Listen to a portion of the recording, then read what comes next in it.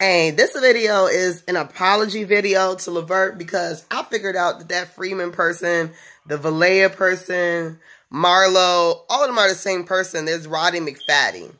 It's a guy. Okay. He even goes so far as to find somebody with the same name as you. Or he'll find like a, a picture or something that he know that you would like. He would take pictures off the internet of a person. He will act like a person. He has voice changer. And um he spends most of his life at home. He has no life. He's a faggot. Because anytime that you act like a man to be talking to another man to try to mess with Mary Magdalene, you gay. You faggot. You got a picture of a woman trying to pretend like you a woman. And then the way that your words is, that's how I know that you Roddy McFadden.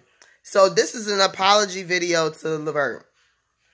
I just want to tell you that I'm sorry because it's somebody trying to play you and they trying to play me. So therefore, I'm just apologizing for being in y'all play. Y'all keep continue to play, keep kissing and y'all ass going to hell. So I ain't got time to play with either one of you. So both of y'all need to repent and seek the kingdom for the kingdom is already here.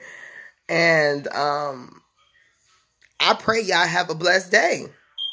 And keep Mary Magdalene out of your drama. Keep your aliens off my screen. And I don't want you, Marlo, to come on my page.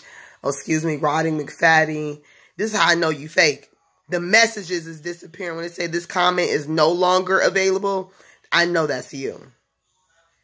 Because you delete your thing, you delete comments. That's what you do.